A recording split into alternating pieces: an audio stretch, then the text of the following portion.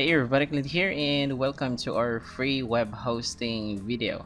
So in this video, I'm uh, going to show you onefreehosting.com. So this is a free web hosting in which you could have uh, all the features, um, probably not all, but most likely the features you need to learn to use that also available on paid features of uh, web hosting. So you have if you have heard about Bluehost, HostGator, those are paid web hosting companies and you are going to pay them monthly to use their web hosting.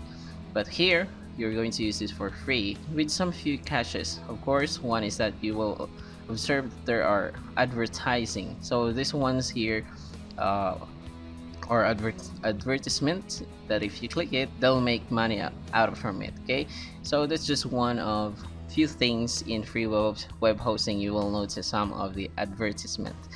But for the sake of learning how web hosting works and how domain works we are going to use our free resources which is the free domain and free web hosting. And today we're going to talk about free web hosting and going to register. And I already have account here but I'm going to create a new account using my other email. So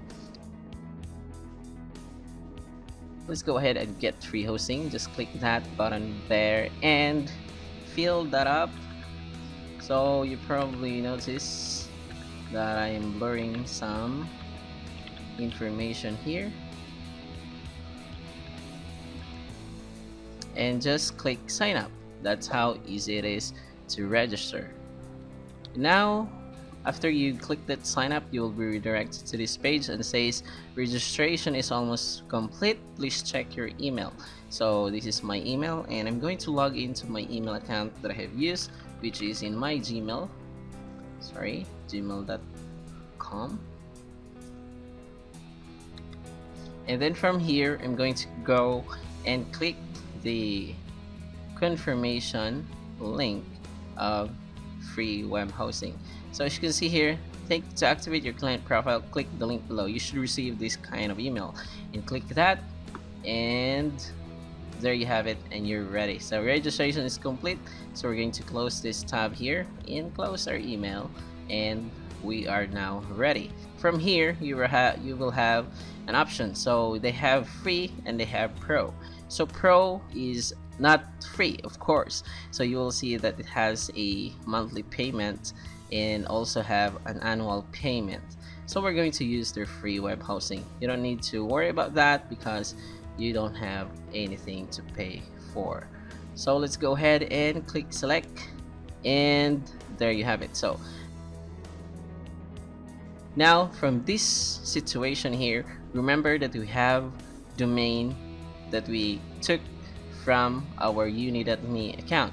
So remember we're going to use domain here uh, as I've said in the I've said in my post that where uh, you could actually register for a subdomain directly from one free hosting account onefreehosting.com but we're not going to do that because we're going to learn about the DNS pointing. Okay so instead we're going to use the domain here okay so instead of using the subdomain of one free hosting we're going to use the domain we took from uni.me and remember we have that this is this is the one that I have registered earlier. Okay so from there you're going to go and paste that domain here. And you're going to create a password. So the password is the, the password for your uh, control panel. So uh, whatever password you want just type it in. So just don't forget that password because you're gonna use that to log into your control panel. Then after doing that click create. There we have it. So you will see that there is a status here and it says 100% it says here processing please wait.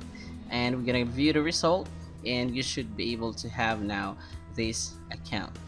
Okay so in your one free hosting account please note that you could create uh, a lot of accounts for each domain that you have.